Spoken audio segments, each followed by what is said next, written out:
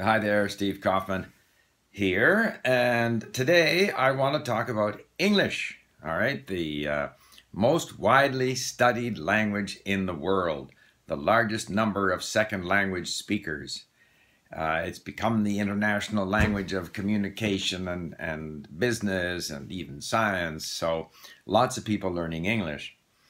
And I think lots of people are sort of stuck at a level in English where they would like to improve or that they don't feel satisfied with their level in English and they don't know how to go about improving. So um, we have um, a new employee, Anna, and I did a video a week ago with Anna, and she's taking part in a 90-day challenge to work on her English. And so I had a session with her yesterday where I went over three um, bits of advice, three tips on things that she can do to improve our English. Uh, I don't know if uh, if these will be these tips will prove useful or not, but I thought I would share them with you as well. All right. Um, so I said to Anna, and maybe Anna is typical of a lot of people. Her background is in digital marketing in Spain.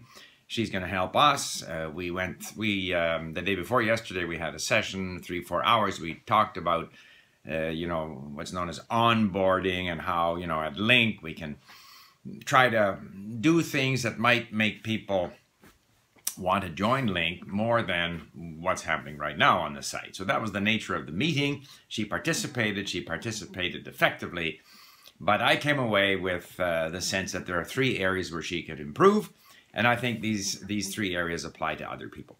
So first of all, I said to her, number one is comprehension. Uh, there are moments when I can tell that she doesn't fully understand what we're saying, or she has to ask for clarification. And so I said, you know, comprehension is more important than your ability to say things sort of totally without error fluently. If you are looking for words or if you have to go back and say it twice because we didn't fully understand what you said, that's less of a problem than when you don't understand because you can control what you're saying. You can see that people didn't fully understand, you can say it again.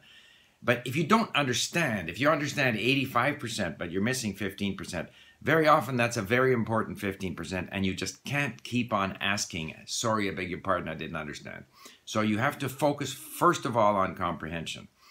And therefore, I recommended that she should have three kinds of content that she listens to and reads and that she works on in LingQ. Number one is her professional content. So this is sometimes you have these courses, business English or whatever, academic English. Uh, go find uh, content in your area of professional, you know, specialization, expertise.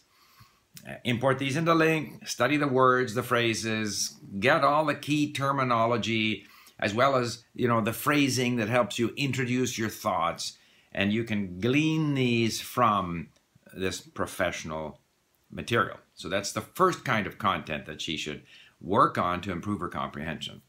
The second is, because I believe that a lot of language learning is connected with emotion, go and find some content, it might be literature, something that you can really like and connect with on an emotional level.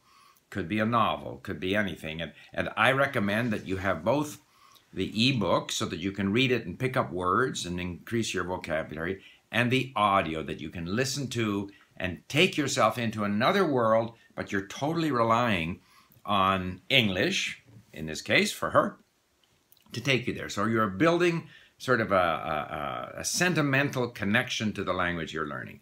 I have always found that that was important in my learning.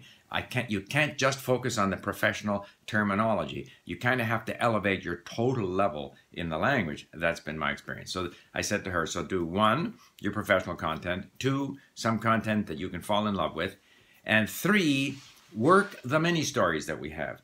Because there you have all the basic structures, all of the most frequently used words, and you can listen to it over and over again. You can listen to it mechanically in the background while you're exercising. And the mini stories is more like going to the gym, in fact. It's just exercising in some of the more basic structures in the language. Okay? So I said, do these three things.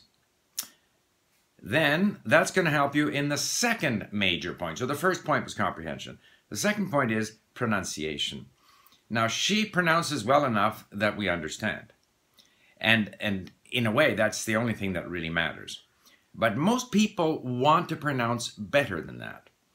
And so uh, the first thing I pointed out to her is that you have to divorce the way words are said from the way they are written. In Spanish, there's a direct connection between how words are written and how they're pronounced. That's not the case in English. And while people know that at some theoretical level, they don't necessarily apply it. And so she was saying things like answer instead of answer. And so I pointed out, you know, for example, answer. Uh, she would say, she might say turn and burn, but then when it comes to learn, because it's L E A R N, she would say learn. And I had to, again, I say focus on the fact that the, the writing system doesn't match the way words are pronounced. That was one thing. The second thing I said is focus on intonation. If you can get the intonation of the language, a lot of this other stuff will fall into place. Even your phrasing will fall into place. And so I recommended that she, again, go on LingQ, take a paragraph, begin by doing five second bursts because we can control the sound bar repeat five seconds.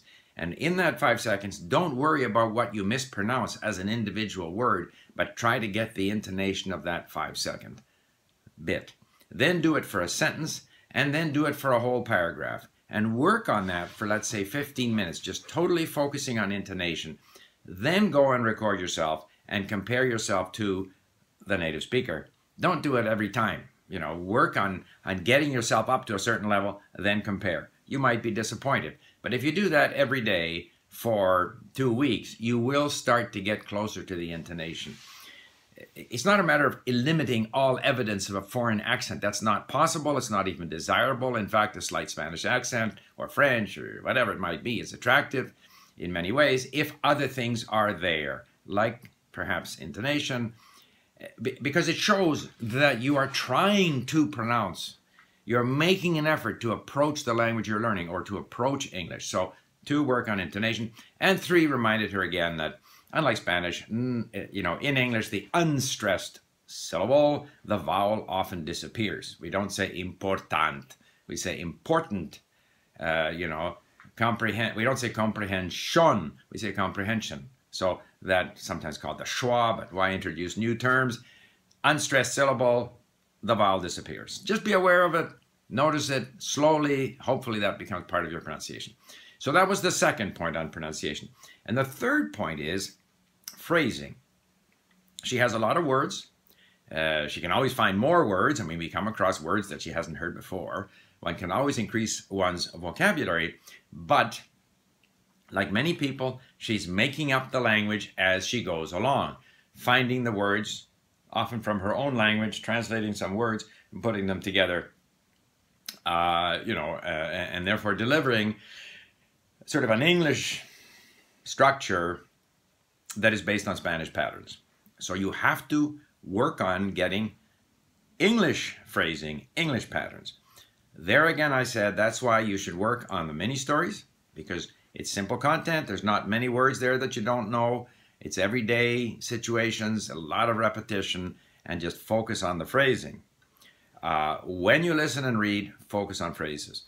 Then try use those. Try to use those phrases so that um, the goal in the listening and reading is to identify phrases, save them on LingQ if you're in LingQ, so that when you go to speak, you're now able to speak in, in ready-made, prefabricated phrases that are in fact English phrases, rather than having to take one word and another word and combine them in some way that corresponds to perhaps Spanish structure and therefore sounds clumsy in English. If you can have good comprehension if your pronunciation has more of a native intonation in English, and if you're able to use more natural phrasing, and again, we're not talking about perfection here, but as a direction to move into better comprehension, better intonation, and better phrasing, then your English will improve. So I look forward to your comments. And this applies, of course, to any language, but particularly to English, where so many people are at sort of an intermediate level where they would like to make a breakthrough to a higher level. Thank you for listening. Bye for now.